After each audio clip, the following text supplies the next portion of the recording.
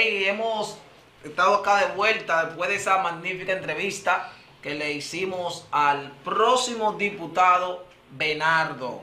Equipo, hay situaciones dentro del municipio de Santo Domingo Oeste como Santo Domingo Norte. ¿Cuáles son? ¿Cuáles Pero antes de ir a una noticia mala, hay que entrar con noticias buenas. Y quiero felicitar, no podemos ser mequinos, que Ocho es muy mequino. No, quiero no, felicitar no. al director de la DNCD y al director de la policía, Eduardo Ten, por los grandes operativos que están realizando en el país. Y es una muestra que en este gobierno se ha incautado más droga que los gobiernos pasados. Felicidades, Manuel Ulloa. ¿Ustedes se enteraron de la situación que hubo en Santiago? Claro, a- iniciamos el programa. Entonces, Mira, para, alinear con lo que tú dices de la Ah. policía, quería que- felicitar al mayor Calvo de la Policía Nacional, quien es el asistente del relacionador público de la policía, donde se están encargando de que todas las informaciones de la policía fluyan y lleguen a estos medios. Y una pregunta, una felicitamos a Calvo y al relacionador No, y público. también a, su director, a Gabriel Mercedes. Ah, sí, una sí. leyenda, Gabriel de, nosotros. Una, una leyenda de, del taekwondo que ahora está dando cátedra ahí en la comunicación. Subdirector, subdirector de comunicaciones. No, de hay que felicitarle. Pero una pregunta, señores. Hay una escasez de policías en el municipio Santo Domingo Oeste. Ya la policía resolvió eso. Porque hay un tema con la inseguridad. En San Domingo Oeste. Bueno, yo tengo que hablar del municipio donde yo vivo, Santo Domingo. Oeste, Me, da, donde hay atracos a todas horas del día. me, me cuesta creer. Aunque a nivel nacional la delincuencia está azotando Carlos. en todos los Carlos, rincones me país. cuesta creerlo porque en Santo Domingo Oeste hay un director regional, el coronel Díaz. Dígale que no hay El policías. coronel Díaz con su asistente mayor Andújar, que están dando caso. Los dos jóvenes que se metieron en la farmacia fueron ya procesados. Sí, hermano, pero no hay policías. Esos jóvenes que estaban atracando en, en- en- en la 20 fueron apresados. Mira, yo creo que, que hay un muy buen intento de la Policía Nacional de que los casos se resuelvan eh, en la parte tuya. Pero lo que dice el compañero Cochi no deja de ser cierto. Pero es una estrategia general de la policía de brindar el casco del distrito descuidando los otros sectores. Exactamente. Mientras hay un patrullaje constante en el distrito, los, los sectores de Santo Domingo Oeste, Santo Están Domingo. Este, Santo Domingo Norte, Los Alcarrizos, carecemos de unidades. En el ensanche Altagracia de Herrera, señores, la guagua da vergüenza. Ay. Tiene que ir un mecánico todos los días a abrirla. ¡Chu! ¡Chu! Sí, sí, Hermano. sí. Chu cuento. Chu. Se- señor Chu, director. ¿Pa' cuándo? No, se- ¿Pa' chu- cuándo? Chu cuento, chu cuento. Presidente. ¿Cuándo te va a quitar Chu? Díaz? No, no, Mira, que, que Chu que resuelva que no lo, lo que es Chubasque, con esto vamos, vamos a que me pasen una imagen. Lo que es Chubasque Presidente. y el licenciado en Derecho Luis Soto del DNI son dos gente, dos buenos para nada, que no están haciendo nada. Presidente, No están haciendo nada. tengo la garganta seca, presidente. Pidiéndole que quite a Chu de ahí. Con el Chu está en la Chu como funcionario. ¿Cómo? Presidente de la República. Con relación, no, con ese vamos a pasar ahorita. Vamos a pasar esta imagen con relación que está hablando la Policía Nacional. Queremos resaltar la labor que está realizando el director regional de Santo Domingo Norte, Coronel Suárez Burgo. Y algo impactante que él hace, que a todos los presidentes vecinos, a todos los comunicadores, a todos los comunitarios le manda los operativos. Y en esta semana pude contar que ha incautado más de cinco armas de fuego, armas blancas incontables. Y algo que está haciendo, que aparte de su labor preventiva, cuida el medio ambiente, porque recoge todas las gomas que hay en los lugares. Vamos a poner esa imagen ahí, señor director, por favor. Vamos a ir pasando la imagen. Armas de fuego no se puede pasar, tú sabes, que eso puede perjudicar el programa. Ok, eh, vamos a pasar entonces la imagen donde están recogiendo las, go- las gomas. Las gomas, y eso evita, eso es el primer director regional digo que hace eso. Que recoge las gomas, mírenlo ahí. Aparte que una medida preventiva, por si hay un motín no la quemen, cuida el medio ambiente y es un hombre que mantiene informado. Y si él te manda un listado de 10 motores, te puede ir confiable y hay 10 motores. Cosas así hay que felicitarlo. Me gustaría que le hiciera un pequeño esfuerzo allá en la comunidad de los guaricanos y en lo que tiene que ver con el sector del Torito, porque hay dos bandas que se están dedicando a la venta de drogas y se están trasladando a los sectores aledaños. Tenemos nombres han, en la senda, la calle La Senda de- del sector Santo Domingo Norte, ahí en el Torito, fue asesinado un joven hace unos días por unos menores de edad. Y eso se ha convertido en una rutina. Si ese coronel es así tan bueno, que, que- que nos ayude ahí, coronel. Ay. Esas dos bandas que todos conocen los nombres, que no lo vamos a decir, yo no voy a decir los nombres, porque hasta nuestras familias Corren peligro. corren peligro de los poderes que tienen y se están acercando a la zona de Santo Domingo Oeste, donde ya las dos bandas trafican con drogas. Bueno, vamos a hacerle un llamado, entonces le hacemos un llamado ahí al director regional Suárez Burgo, que pueda acatar la denuncia que está haciendo nuestro compañero Carlos, y al coronel Durán, que está ahí en Guaricano. Ellos, ellos saben cuáles son las bandas. También quiero hacerle un llamado al, coron- al capitán Félix Pérez, que es el encargado de homicidio, que pueda darle respuesta a sus familiares acerca de ese homicidio que pasó.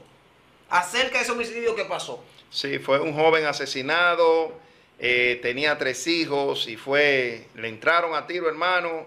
Las imágenes no las mostramos porque son imágenes muy fuertes para mostrar aquí en televisión. Bueno, hablando, hablando Policía Nacional, quiero hacer una denuncia comprometedora y, del, y desligo el programa de cualquier consecuencia legal. Y me desligo yo y también. Se desliga mi equipo. Yo me desligo. Porque Javis Alexander Félix Yo no. Rodríguez, alias La Voz, calle 28, número 26. Siempre doy mi dirección completa cuando hago una denuncia. Ponme ahí, señor director, el charlatán del coronel Franklin Segura Ay, mi madre. subdirector regional de Santo Domingo Oeste.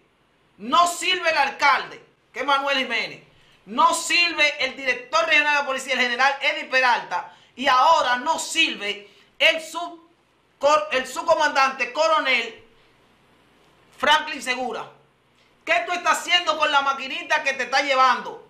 Y aparte que está incautando maquinita sin un fiscal y no está dando respuesta, entonces está amenazando a los colegas de los derechos humanos. Y te responsabilizamos a ti y al general Eddie Pérez, si a Diógenes Osuna o a Papolo, que son dos comunitarios de alta data de San Luis, le pasa algo. Tú lo que tienes que responder, ¿qué está haciendo con las máquinas que está incautando sin un fiscal? Ay, mi madre. Esto no es personal. Esto que hay que hacer las cosas como manda. ¿Por qué no va con fiscal?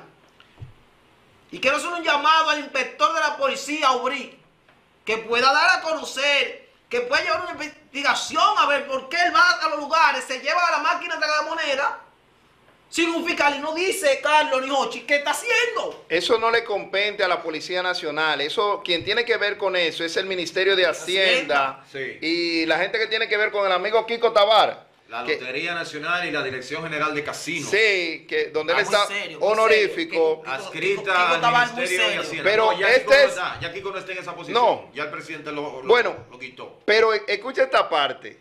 En esa, ese, esas máquinas son un negocio Eso que tienen, negocio. hermano.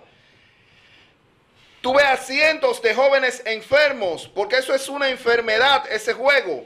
Y todos los colmados tienen una jodida máquina de esas, donde los niños, ahí no hay edad, viejas, todos están utilizando ese tipo de máquinas. Entonces los coroneles lo que hacen es que se la roban y se la venden a otro, porque no es que son incautadas y son llevadas a un almacén. Porque si lo hicieran así, él dijera, no, nos llevamos 100 máquinas, las máquinas están aquí en, en el departamento tal de la policía. No, no, no, no, las revenden.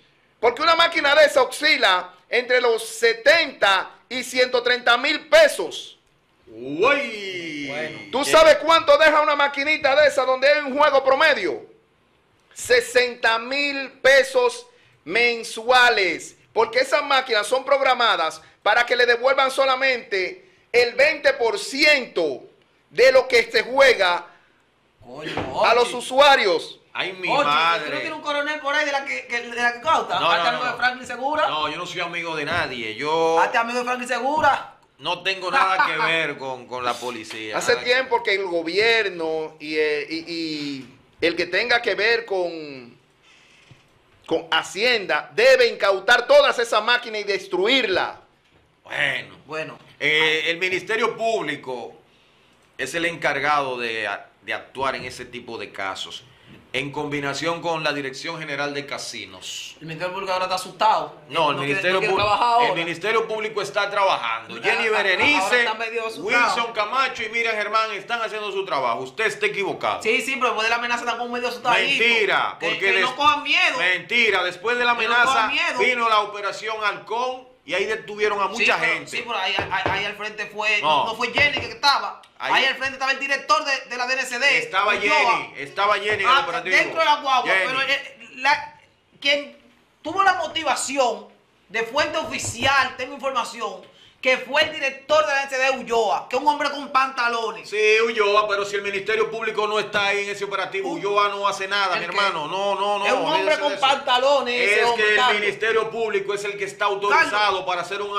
allanamiento a una vivienda. ¿Y por qué que si no está ¿pero presente, si no está presente una autoridad del Ministerio Público, o sea, un fiscal, Sí. no puede entrar la dirección ni ningún policía a una vivienda No, a hacer un ya allanamiento. sería un fiscal de allá de, de- de Santiago. Pero es Ministerio Público, Sí, pero- caballero. Cuando Usted- se habla de Oye, Ministerio Pero tú ¿por Público. qué sabes- te cuesta? ¿Por tú qué sabes te dónde- cuesta darle los créditos a la Dirección Nacional de Control de No? Jochi. le estoy quitando el crédito, pero tampoco Mi me hermano, le ¿tú sabes dónde vino la confusión Público. con la policía? Cuando No. estábamos en estado de emergencia, a la policía, por estar en estado de emergencia, se le permitía ¿Y qué hacían? entrar a las casas. ¿Y qué hacían? Pero Abusaban de la gente. Pero claro, Abusando. lo que pasa es que la policía no sabe ya que salimos del estado de emergencia y que estamos ahora en un estado de derecho. Claro, claro, eso es así. Señores, hemos llegado lamentablemente a la parte final. Este Vamos, Porque vamos el- a pasar una noticia al, al- al dueño del programa, el que pague este programa. Ah, ya, ok, no, antes de- antes de la pausa. Claro, que lo mandó. Eh, señor lector, ponme esa imagen, por favor. Y quiero leer esta nota de prensa que de una actividad que uh, tuvo ahí el próximo y seguro alcalde de Santo Domingo Oeste, Francisco Peña, que de ¿Cómo manera, fue? de manera personal tiene todo mi respaldo. ¿Cómo? Francisco Peña. La dinastía Peña gozan de mi aprecio y Ay, cariño. mamá. Yo, ¿y ¿En qué gallo fue que yo caí? Gozan de mi aprecio y cariño. Hermano, Ponme la imagen ahí, señor director. la democracia hay que, hay que respetarle Eh, la No, no, decisión esa. de cada quien. Sí, pero pónmela aquí que se vea. eh. No, yo, yo lo felicito. Fue una actividad que ellos tuvieron. Ellos tuvieron. eh, una actividad que tuvieron. Mira que Francisco está marcando muy Y bien dice que- municipio. Muy bien, está marcando. Francisco. Oye, muy de prensa. No de- Descansaremos cuando el presidente Abinader sea declarado ganador en primera vuelta. Bueno, Francisco Peña, precandidato a alcalde por Santo Domingo Oeste, continúa fortaleciendo el Partido Revolucionario Moderno.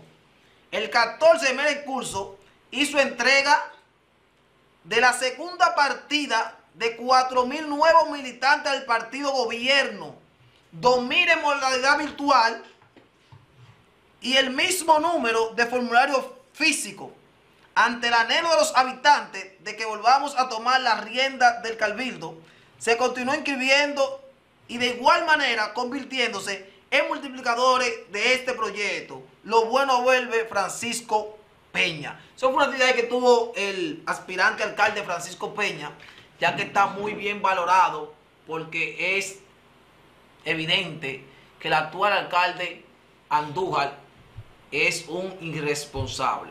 Aquel hombre que promete, aquel hombre que relaja coño con el sudor del hombre, que agarraste las prestaciones de esos obreros, trabajadores que estaban en esa alcaldía. Mira uno ahí al lado tuyo. y nunca la di. No me Espérate, Joche, espérate, de Joche. De, conejillo de India. Espérate. Joche, a mí me van a pagar mi cuarto. Espérate, Joche. Oh, ¿te van a pagar? Esos hombres que se mataron trabajando y quizás de ser bocina por los grupos, defendiendo su cuarto, ahora tú no le quieres pagar. Padrino Andújar, déjame decirte lo siguiente. El pueblo despertó. Y lamentablemente, por más que brinquizarte, tú no vas. Familia, esto será hasta el próximo jueves y agradecemos No, no me inmensamente. van a decir, dejar decir nada y- a favor de... Agradecemos inmensamente Señores. la participación del colega Carlos y el colega Hochi. Hochi, Te la tengo, te tengo una primicia para que Francisco se ponga los guantes. Dale. Esto es una primicia y se la voy a dar. Hoy estaba en una reunión y me dijeron que en el municipio de Santo Domingo Oeste va a haber convenciones a la alcaldía. Entonces, Francisco Peña, prepárate para que pelee con Andújar. Ya el, ustedes el- saben. el mismo Andújar. Ya ustedes saben, señores, habrá convención a nivel municipal aquí en Santo Domingo Oeste. Todo el que va a aspirar a la posición de alcalde va a tener que someterse al voto de las bases del PRM. Señores, esto es Noticias Reales por Neutral FM. Jochi Tejeda, el ministro, Carlos Manzueta, el mayor. Estaremos aquí cada jueves por esta plataforma. Nuevamente darle las gracias a mi hermano Ezequiel para que nosotros formemos parte de esta familia de Neutral FM y de este espacio que se llama Noticias Reales. Nos vemos el próximo jueves, 7 de la noche. Es el compromiso con nosotros. Hasta una nueva entrega.